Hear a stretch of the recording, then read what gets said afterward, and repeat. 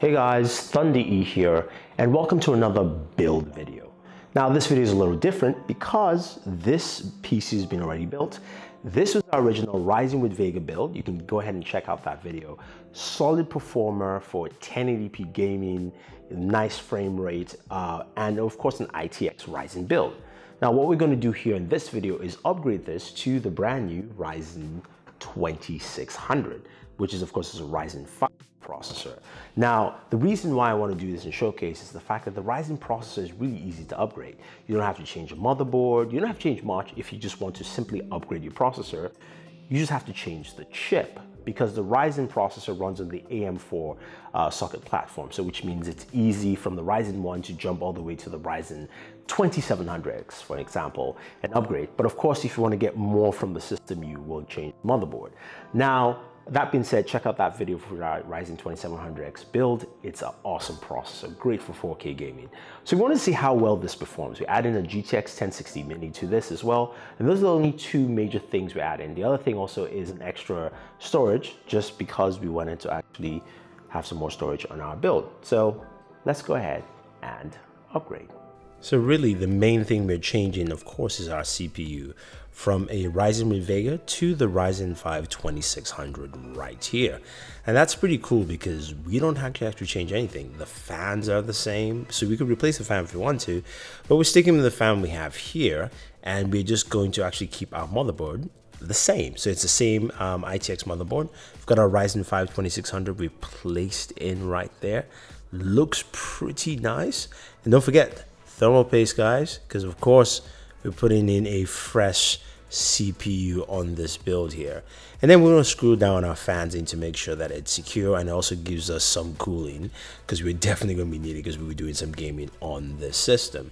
Now uh, the one thing I will mention is that I forgot how small this case was so I had to do try and rewire everything so I kind of gutted out the case again this is just my own uh, thinking. Depends on what kind of case and what you're using with it. And of course, you guys will notice at the end that I kind of gave up halfway on my uh, on my cable management. But it is something that you know what you got to do.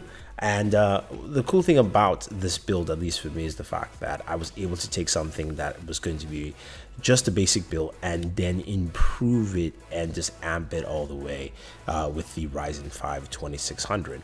Now it's all built in, everything looks pretty good there.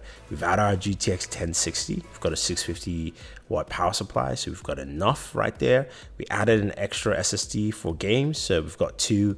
Our system is up, lighting is on there, and we're ready to go. And Spider-Man is pulling us in.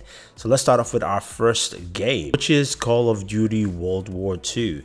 Now it's all set at ultra resolution 2560 by 1080 We've got a GTX 1060. You can see how well it's handling.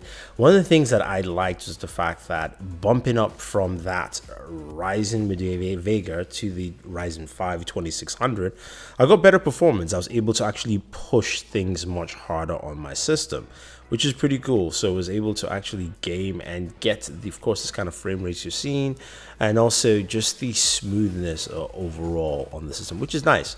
Uh, I haven't actually played Call of Duty World War II in a while, so of course you guys are gonna watch me die quite a bit, as in most of the games you're gonna see here, maybe except uh, Doom. Speaking of Doom. Uh, we have it also set at ultra and resolution 2560 by 1080 gonna just go ahead and reset that and we're getting some really high frame rates. Now in call of duty we got about 60 frames locked. Uh, here we have about uh, between 70 to about 90 frames per second.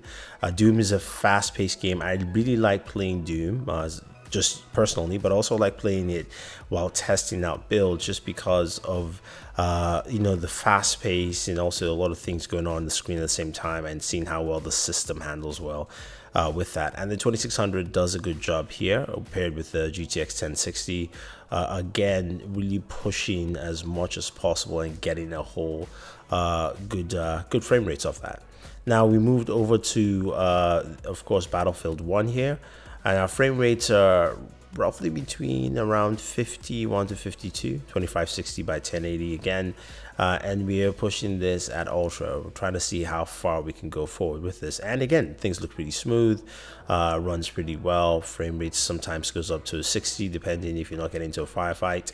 Uh, and it looks pretty nice. Uh, and I think that's something that uh, a lot of people appreciate with a build like this and also if you're upgrading. And that's why like i said uh, one of the reasons i like the ryzen processor is the fact that you know i could have had an itx build from ryzen 1 i can still use that board. I can also still then upgrade it uh, with a ryzen 5 2600 and get this kinds of performance. You know if i was using a gtx 1060 mini from last year it really doesn't matter. It's the same thing it would just improve the performance from there. And finally, of course, the game that everyone has been playing, Fortnite, uh, which is not uh, a game that I technically play that much or that often, but I wanted to see how well it handled here. So Fortnite is the only game we actually ran at 3440 by 1440. Uh, and the resolution and the game is spec at high, not ultra. Um, we just wanted to see what it would actually do at max resolution for graphics like this. And as you can see, it looks pretty good. Um, of course, uh, again, like I said, I don't play Fortnite that much, so um, I'm probably going to die pretty soon and not even actually take anyone out uh, in the game. But again, you can clearly see how smooth it's running. The frame rates are up there between 70 to 80 uh, roughly, and uh, you're getting some really good performance off the system. Uh, and that's what I like. So I, I, again, for me, you know, upgrading from Ryzen 1 to Ryzen 2 makes a lot of sense. And also, it's cost effective too. You don't have to change your whole system. You can add things. You don't have to actually swap out a motherboard or even, um, you know, changing your cooling or anything like that because the AM4 socket really is built for that kind of upgrade process that makes things easy for a lot of people to actually go ahead and take the benefits of a processor like this. So, um, you know what? Let's see if we can get into some uh, firefights here. And I can see somebody hopping around over there. Uh, and I'm most likely going to die pretty soon, as you guys probably guessed. People shooting at me. Going to see if I can take someone out. See some gunshots on that side. Now, see the thing with Fortnite, I can't actually, I don't know how to build well, so uh, I'm going to die in 3, 2, yeah, there we go. So anyway, let's go ahead and round up this video. Alright, so hopefully this video gave you a good idea of how easy it is to upgrade a Ryzen processor. Whether you're moving from the original Ryzen 1 or to something like the Ryzen 2600 which is actually built in here, at least now, uh, you can see it's a very easy process and the cost effectiveness really holds true. You don't have to get a new motherboard, you don't have to actually spend any extra unless you want to. And that's one of the things I like about the new Ryzen line. Now, if you guys are looking to do something similar like this, I'll leave the links down for you guys down below. You can purchase it off Amazon and support the channel that way. But anyway, guys, thank you very much for watching this video. If you like it, don't forget to hit the like button, also share, and definitely subscribe to the channel uh, if you haven't already. So this is Thunder E saying thank you very much and always enjoy your entertainment.